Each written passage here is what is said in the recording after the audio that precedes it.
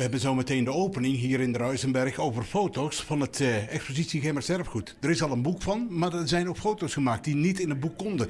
Zometeen eens praten met Adrie van Daal. Maar eerst naar de opening met uh, Ad Otte, Tineke Mols en vele anderen die nog gaan spreken. En wij gaan zo meteen praten met Adrie van Daal. Nou, in een tijd van, uh, van maakbaarheid, zal ik maar zeggen, voor de mensheid, hè, om zijn eigen steeds mooier te maken, heb ik dit bedacht. Geen dagcrème meer voor mij, geen botox in mijn rimpels. Ik smeer er niks meer op, kies liever voor iets simpels. Ik word een hele mooie, ik ga mezelf ontplooien. Al na twee of drie foto's, en ik wist wat er allemaal nog meer zou komen, tenminste globaal, want dat boek, ja, dat is in de bepaalde kringen, en zeker bij de heemkundekring, toch heel erg bekend en vertrouwd. Maar wat ik meer dacht is, waar wonen wij? Hè? In een schoon dorp, in een schoon gemeente. Is te zien, daar, hè? in de gang. De eerste foto. Ik kan het omhoog steken, hè? want dan kan er van hieraf toch allemaal net zien. Hè? Het. Nou, het Essingskapelletje in de morgenzon. Het Erfgoed heeft zojuist die expositie geopend, Adrie Dalen in de Ruizenberg. Ja, toch een heleboel foto's die veel bekijks trekken. Ja, zeker, zeker. Het, is ook echt, uh, ja, het zijn gewoon hartstikke mooie foto's. Het zijn niet zomaar uh, kiekjes. Er is over, ja, net iets langer over nagedacht. Er zijn echt momenten uitgekozen van op dat moment van de dag, dan staat daar die zon het mooiste. Of dan is daar het licht het mooiste. Ja, en dat maakt de foto, geeft de foto iets extra's. Wie heeft deze foto's eigenlijk gemaakt en van waar zijn ze hier neergehangen? Uh, we hebben in de fotoclub hebben 13 mensen van de fotoclub hebben die foto's gemaakt. En die zijn eigenlijk uh, gemaakt van oorsprong met het idee dat ze in het boek van het Gemers Erfgoed zouden komen. Nou, er zijn bij elkaar iets, ruim 3000 foto's gemaakt. En in het boek zijn er 350 terechtgekomen. Dus er bleven er gewoon nog heel veel in de computer staan. Ja, en dat is gewoon zonde. En hier in de Ruizenberg zaten ze eigenlijk een beetje verlegen om nieuwe foto's. En dan is 1 en 1 2. Nou, de Rotary Club en de Vrienden van de Ruizenberg waren bereid om een financiële bijdrage te geven. Nou, zo hebben we gewoon een hele mooie expositie neer kunnen zetten.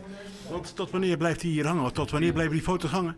Die expositie uh, die blijft, uh, blijft hangen tot 8 januari. En daarna dan worden de foto's verspreid over de diverse gangen hier in de Ruizenberg. Dus... En dan is het de bedoeling dat het wat vaker hier geëxposeerd gaat worden? Ja, vast wel. Vast wel. ja, dat ligt natuurlijk ook aan de, aan, de, aan de middelen, maar ik denk het wel. Dat uh, zit er wel in. Even ja. voor de mensen die interesse hebben om te komen kijken. Noem eens een paar unieke foto's die hier hangen die ze zeker gezien moeten hebben. Ja, dat vraagt me een beetje onbescheiden te worden. nou, ik denk, er zijn natuurlijk een paar foto's die eruit springen, maar eigenlijk zijn gewoon alle foto's hebben gewoon een eigen verhaal.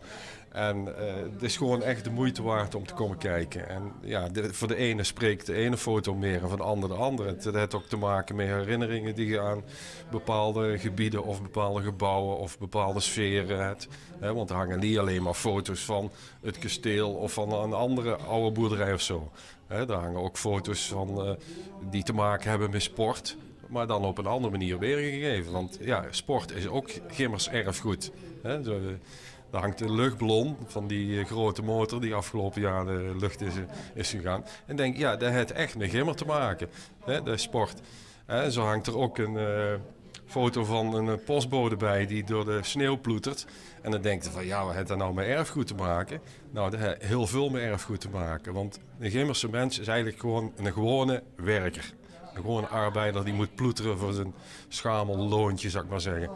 Hoe uh, is die expositie te zien tijdens de openingstijden van de Ruizenberg? Ja, ja, klopt. Gewoon de Ruizenberg is eigenlijk van s morgens vroeg tot s avonds, ik geloof 8, 9 uur of zo open. En je kunt gewoon altijd gratis binnenlopen. En dan valt er daarna lekker een bakje koffie hier. Het zou eigenlijk wel wat zijn dat de kunstenaars in Gemert eigenlijk een eigen expositieruimte krijgen. Nee, uh, ja, als me als kunstenaar aanspreekt, dan uh, klopt dat inderdaad. Het is gewoon echt heel jammer dat je hier in Gemert niet een, een, continue ruimte is waar kunstenaars echt kunnen exposeren. En bijvoorbeeld maandelijks iets nieuws kunnen laten zien. Dat is echt heel zonde. Of een kunstuitleen. Misschien dat er nog wel ergens in zit bij het kunstlokaal of weet ik wat. Maar dat zou toch wel een pre zijn voor Gimmert. Ja. We kunnen gewoon hier zeggen van waar ik ben. Juist, van waar ik ben, deze echt Gimmert. Ja, dankjewel.